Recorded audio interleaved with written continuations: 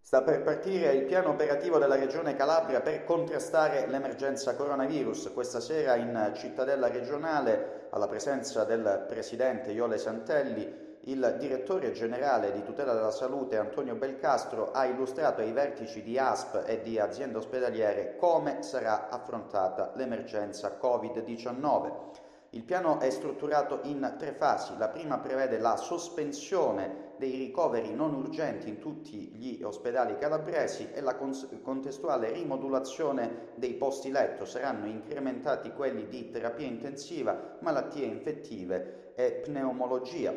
Dopodiché eh, si procederà all'individuazione dei cosiddetti ospedali anti-Covid, cioè strutture già esistenti con dotazioni tecnologiche che si occuperanno di trattare i casi di coronavirus e infine la terza fase ipotetica è l'individuazione di strutture per quarantene generalizzate. Allora, prevede una serie di misure che abbiamo condiviso questa sera con le aziende sanitarie ospedaliere che alcune di queste sono già in atto, ovviamente quelle che abbiamo già preso per i primi casi, quelli sporadici,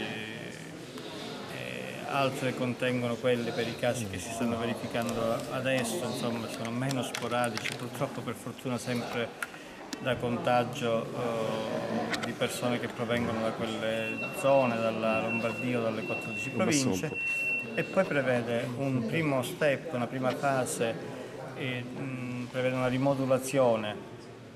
dei posti letto all'interno degli ospedali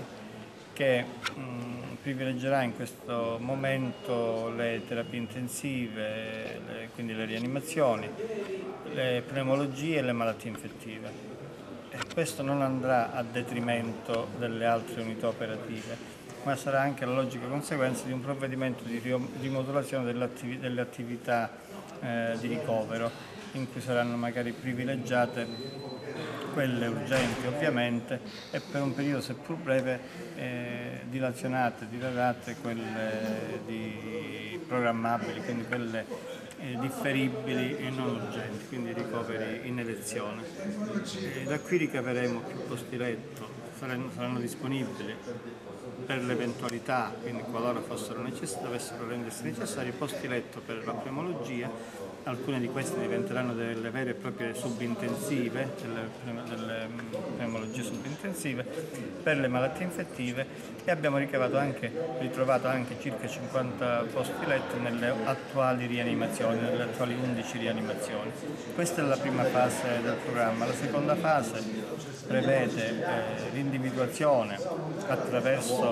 la condivisione con le aziende sanitarie di uno o più ospedali Covid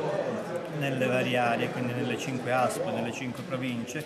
ospedali Covid che sono caratterizzati dal fatto che sono ospedali già funzionanti, quindi con laboratori di diagnostica, di analisi e di radiologia, con letti eh, che possono essere già utilizzati per eh, ospitare coorte di pazienti positivi. E poi la terza fase alla quale noi speriamo di non arrivare né alla seconda né alla terza, ma ci dobbiamo preparare all'individuazione di strutture ricettive.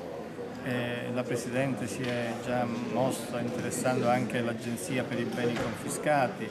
eh, per vedere se ci sono beni, strutture ricettive di, questo, di questa tipologia, ma anche